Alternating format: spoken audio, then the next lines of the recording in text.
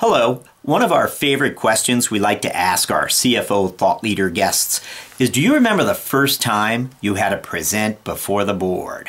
Well, our latest episode, we feature Jennifer Lew, CFO of Aduro Biotech.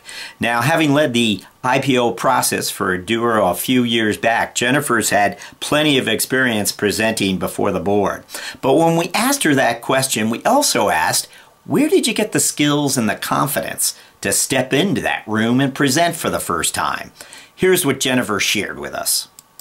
I did have the fortunate opportunity to start on a smaller scale, so to speak, and in in an earlier company to Aduro, I in my finance role or in my accounting role stepped in first to the audit committee room rather than the full board room. And so there was a great chance for me to, again, tell a story about the financial statements and what the numbers were actually indicating as far as the company's performance for that given quarter.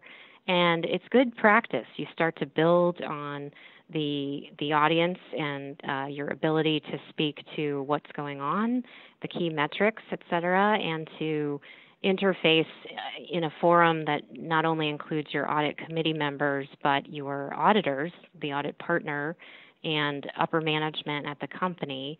And so I think building on that, which was great experience, that then led into more corporate discussions with the full board. And even beyond that, there have been some other opportunities for me to continue to participate in compensation committee meetings and other committees of the board where you're looking at essentially all aspects of, of the corporate governance process.